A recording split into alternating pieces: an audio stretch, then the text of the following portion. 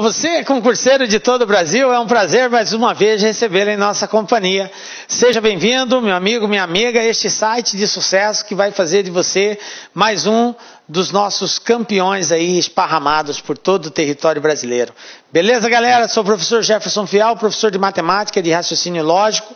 E na aula de hoje nós vamos dar continuidade ao estudo da probabilidade, agora a parte 2, fazendo um aprofundamento maior agora no estudo da probabilidade, vendo a união, intersecção de eventos, probabilidade condicional, que seria aí um plus que nós vamos dar a este estudo. Beleza? Mas para você assistir essa aula, nós recomendamos que você tenha assistido a parte 1. Porque aqueles conceitos iniciais de probabilidade, é, eles são importantes e a gente vai partir do pressuposto que você já tem essas definições, que você já tem esse conhecimento, tá? Se não assistiu, dá uma pausa, assista a, a parte 1 para depois dar continuidade na parte 2. Beleza? Vem comigo, galera. Vamos então aí probabilidade parte 2. É, vamos agora evidenciar o estudo da união e a interseção de eventos, ok? Já é, são casos assim um pouco mais complexos de análise. Mas que nós vamos dar todos os facilitadores aqui para você compreender bem este contexto. Tranquilo? Então vamos lá. Vamos começar falando de união de eventos. Antes da gente falar de probabilidade da união, nós temos que relembrar o que, que é unir dois ou mais conjuntos. Ok, galera? Lá em conjuntos, nós vimos que eu posso ter um conjunto A, posso ter um conjunto B. Quando eu faço a união de A com B, eu estou agregando todos os elementos de A todos os elementos de B num único conjunto. Unir dois conjuntos é pegar os elementos do conjunto A, pegar os elementos do conjunto B e colocar todos eles dentro de um único conjunto. Aí existe um problema. Professor, e se existir elementos iguais no A e no B? Quando existem elementos iguais, isso não altera nada. Nós continuamos com a mesma quantidade de elementos. Eu não repito aqueles que são iguais. Eu coloco, represento eles uma única vez. Beleza? Bom, lembrado agora do que, é união, vamos dar um exemplo aqui. Nós temos dois eventos, A e B. Olha só, o símbolo da união é a letra U. Esse símbolo aqui representa união. Então aqui eu estou unindo, no caso aqui, um, um, evento A a um evento B, ou um conjunto A a um conjunto B, já que A é o conjunto dos eventos de A, B é o conjunto dos, dos elementos que representam o evento B, ok? Vamos supor o seguinte: eu tenho aqui dois eventos. Primeiro evento, no lançamento de um dado, ocorrência de um número par ou múltiplo de 3. Olha só o que, que está sendo solicitado aqui. Ocorrência de um número par ou múltiplo de 3. Então eu tenho que deixar claro quem é par e quem é múltiplo de 3. Eu estou pedindo duas coisas em uma só. Então eu vou ter que evidenciar cada um desses eventos para poder compreender o contexto geral. Vamos dividir isso aqui então. Eu vou chamar de número par o evento C. Então o evento C vai ser o evento que é o conjunto de todos os elementos pares no lançamento de um dado. Então eu tenho 2, o 4 e o 6.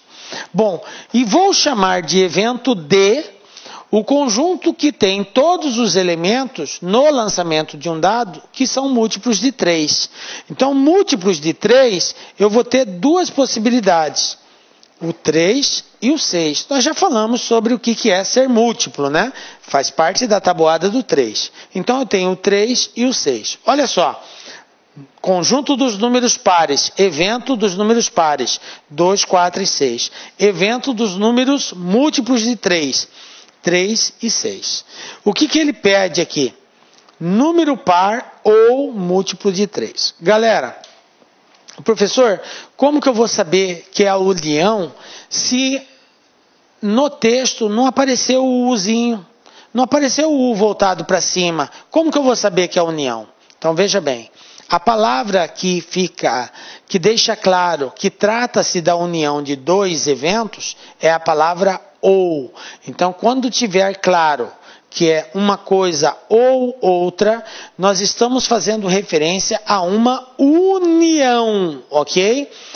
Qual a probabilidade de acontecer o evento A ou o evento B? Olha só, ou, então é a união do evento A com o evento B. Tranquilo? Então a palavra ou é a palavra principal e ela indica união. Beleza? Bom, então vou agora formar o conjunto, né, o evento F, que é o conjunto resultante da união do evento C com o evento D. Como que vai ficar? Olha só. C união com D. Quem são os elementos que vai compor esse conjunto? Vai ser todos os elementos do primeiro conjunto, todos os elementos do segundo conjunto, com um detalhe. Aqueles que forem iguais, eu não escrevo duas vezes, escrevo uma única vez.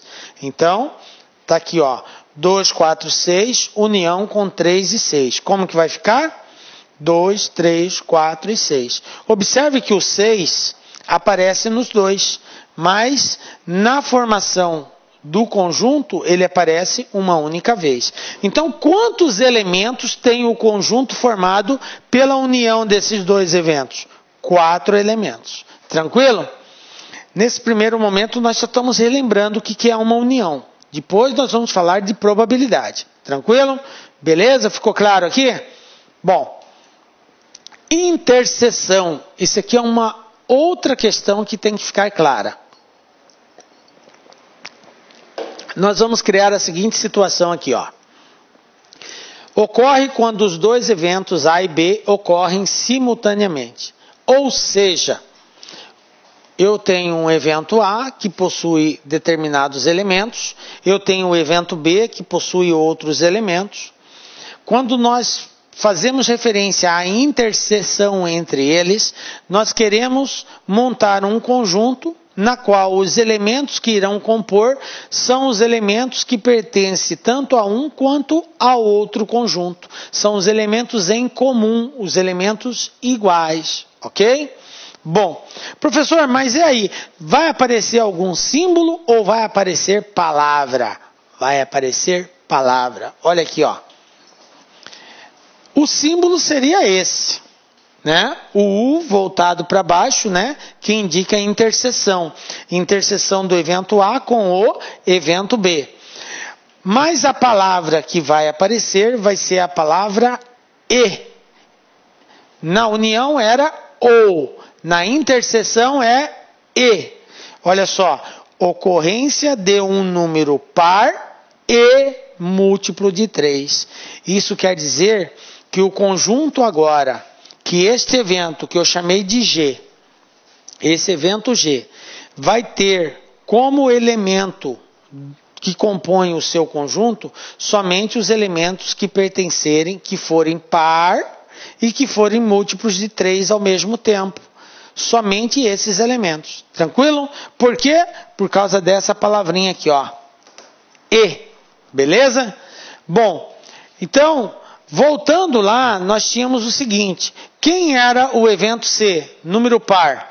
Não era o 2, o 4 e o 6? Quem era o evento D? Múltiplo de 3. Não era o 3 e o 6? Pergunto para os senhores: quem são os elementos que aparecem nos dois ao mesmo tempo? Somente o 6. Então, nesse caso, galera, o meu conjunto que representa o evento G, que é número par e múltiplo de 3, vai ser somente o 6 conjunto que contém somente um elemento, porque a intersecção aqui, o elemento comum é só o 6. Beleza? Então, quantos elementos tem esse evento G? Um elemento. Tranquilo? Ficou claro o que, que é a união e o que, que é a interseção? Isso é base para o que vai vir agora. Beleza? Bom, partindo do princípio que vocês já estão sabendo o que, é unir, é, como como encontrar os elementos fruto da união e da interseção, agora a gente pode falar de probabilidade. ok? Vamos começar falando de probabilidade da união. Bom, quando a gente fala em probabilidade de união, nós temos duas situações que temos que considerar.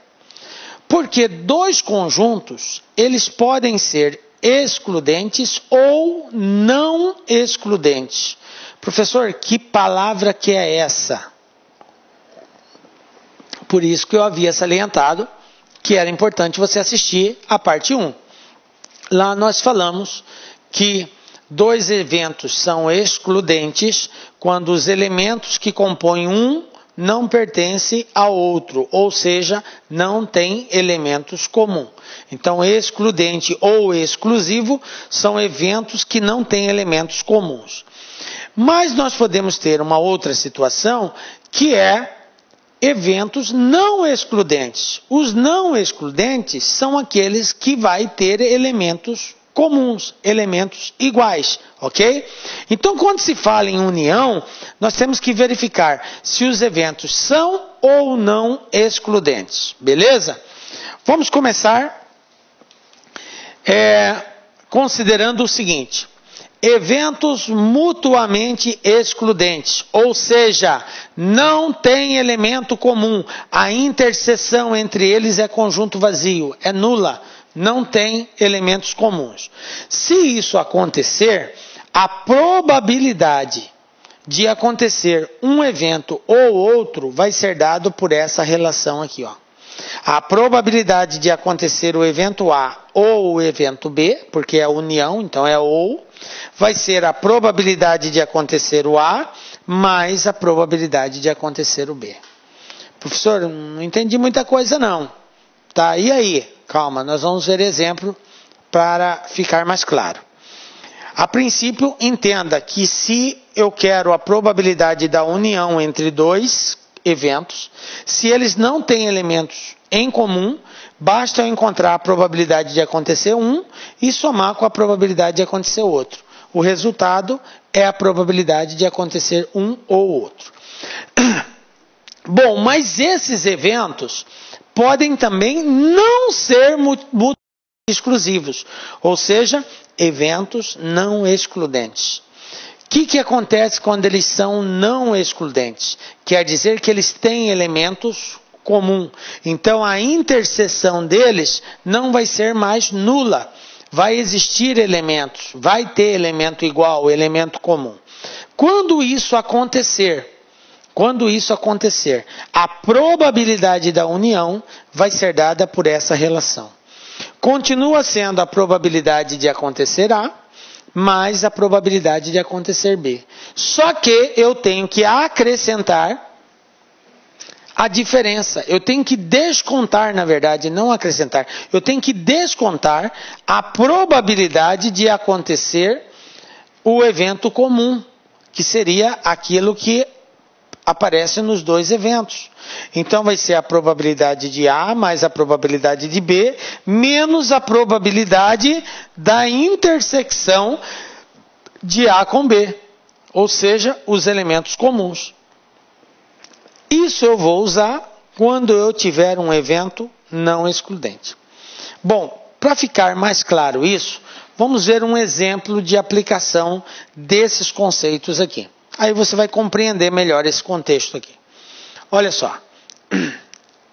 Uma urna contém três bolas brancas e quatro bolas pretas. Tira-se sucessivamente duas bolas. Então a probabilidade das bolas serem da mesma cor é, olha só, eu tenho uma urna com três bolas brancas e quatro bolas pretas tá? Tira-se sucessivamente duas bolas, então a probabilidade das bolas serem da mesma cor é aqui as alternativas de resposta. Bom, vamos lá então. Galera, sucessivamente, tira uma, depois tira outra. Eu vou começar fazendo da seguinte forma: quem é o meu evento? Eu tenho dois eventos aqui. Um evento seria bola branca, o outro seria bola preta. Então eu vou chamar de evento 1 e de evento 2. Quantas bolas brancas eu tenho? 3. Quantas bolas pretas eu tenho? 4. Então, número de elementos do espaço amostral são 7 bolas, porque 3 mais 4, 7. Então, eu tenho um total de 7 bolas. Se eu quiser fazer referência somente a bolas brancas, quantas bolas eu vou ter? Três. Então, o evento que trata de bola branca, que eu chamei de um, eu tenho três possibilidades. O evento que trata de bola preta, que eu chamei de evento 2, são quatro possibilidades, porque eu tenho quatro bolas pretas. Beleza? É um conjunto formado de quatro elementos. Tranquilo. A probabilidade de ser da mesma cor vai ser como? Vai ser ou todas brancas ou todas preta, retirando-se as duas bolas, ou as duas são brancas ou as duas são pretas. Então essa resposta é um caso claro de probabilidade da união, porque ele está perguntando aqui, em outras palavras, qual é a probabilidade das duas bolas serem brancas ou das duas bolas serem pretas.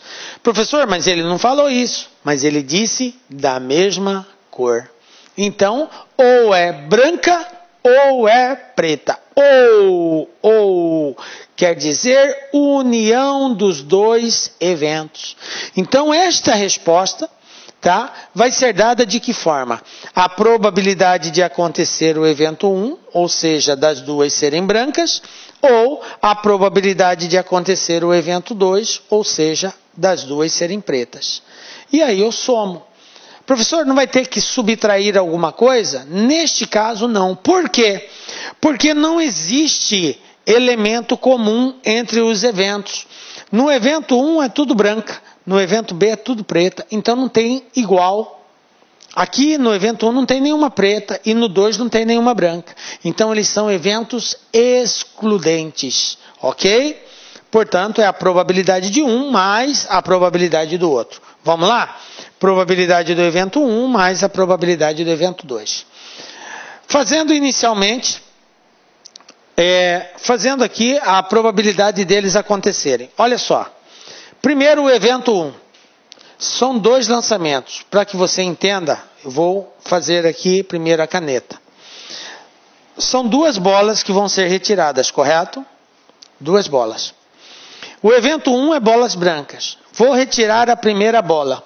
Qual é a probabilidade da primeira ser branca? O que, que, é a probabilidade? Número de elementos do evento dividido por número de elementos do espaço amostral. Quantas bolas brancas eu tenho? Três. Quem é o meu espaço amostral? Sete. Então a probabilidade da primeira bola ser branca, 3 sobre 7. Probabilidade da segunda bola ser branca. Veja bem, eu já retirei uma bola. Pergunto para os senhores: eu tinha três bolas, eu retirei uma, sobrou quantas bolas? Seis, duas bolas. Eu tinha três, tirei uma, ficou duas. Então a probabilidade da segunda bola ser branca vai ser de 2 sobre 7? Não. Por que não 7? Porque eu já retirei uma bola, lá não tem mais 7, lá só tem 6. Então, 2 sobre 6. Então, a probabilidade de ocorrer o evento 1 vai ser 3 sobre 7 vezes 2 sobre 6. Esta é a probabilidade de acontecer o evento 1. Probabilidade de acontecer o evento 2. Vai ser retirada duas bolas. Qual é a probabilidade da primeira bola ser preta? Pergunto. Número de elementos do evento 2, 4. Número de elementos do espaço amostral, 7. Então a probabilidade da primeira bola ser preta vai ser de 4 sobre 7. Tranquilo? Eu tenho quatro bolas pretas de um total de 7. Retirei a primeira bola, ela é preta. Qual é a probabilidade da segunda ser preta também? Eu tinha quatro, eu retirei uma, sobraram três. Então eu tenho três bolas pretas, de um total de quantas bolas? Eram sete, eu já retirei uma, seis. Ok? Por isso que ficou 3 sobre 7 vezes 2 sexto, mais 4 sobre 7 vezes 3 sexto. Tranquilo? Olá, meus amigos, minhas amigas. Sou o professor Luiz Antônio de Carvalho, com muito prazer Muita satisfação, estou aqui para apresentar a nossa super, super proposta pedagógica para quem vai fazer o concurso do Detran Pará 2018-2019. Edital publicado, edital na praça, agora é hora de se preparar, agora é hora de ficar competitivo. E eu garanto para você que o nosso curso aqui da Lá Concurso é uma super preparação. Se você cumprir todas as nossas orientações pedagógicas, você pode ter certeza, certeza absoluta que você lá no dia da prova você vai ficar muito competitivo. Nós temos aqui dois cursos né, para o concurso do Detran. O primeiro para o cargo de agente de fiscalização para o trânsito e o segundo para o agente de educação para o trânsito. Ambos os cursos, é isso mesmo, custa apenas 10 parcelas de 25 reais. É o melhor, é o menor e o melhor custo-benefício da internet. Pode ter certeza que um curso desse vai ser o seu melhor, maior, um dos melhores investimentos da sua vida. Porque se você cumprir as nossas orientações do personal coach, você pode ter certeza que você vai ficar competitivo. O personal coach é o que? É o estudo regime de metas. Então, todos os dias você vai ter uma meta de estudos e se você cumprir essa meta, se você tiver lá num quadro de medalhas, você tem uma referência para isso, você vai ficar competitivo. Professor, quantas turmas nós teremos? Nós já tivemos duas turmas pré-edital para o Detran, temos uma turma pós-edital é, a turma 1, pós-digital, está prevista a turma 2 pós-digital e mais uma turma de reta final aí. Nós queremos atender a galera do Detran Pará, né? Professor, quando que é a prova? Dia 10 do 2. Dá para estudar? Com certeza, né? Professor, isso aqui é o quê? Isso aqui é, esse vídeo que eu passei para vocês são aulas demonstrativas que nós colocamos aí no YouTube para que você aí avalie a qualidade do nosso curso. Mas muito mais, o melhor, a cereja do bolo está dentro do site. Pode ter certeza disso. Ah, professor, tem demonstração? Tem, né? Nós temos a possibilidade aí de você fazer um curso grátis de sete dias na Lá Concurso, sem pagar nada para você conhecer a nossa metodologia. Para isso, você tem que seguir os seguintes passos. Primeiro, se inscrever no canal, né? Curtir a nossa página, dar uma curtidinha no nosso vídeo lá, clicar no link da descrição do vídeo e finalmente depois você vai ter que fazer um pequeno cadastro, claro, né? E utilizar o código aí Detran Pará, que você vai ter a possibilidade de fazer um curso grátis aqui na Lá Concursos. Bacana, meus amigos? Então espero vocês. Um forte abraço, fique Clique like.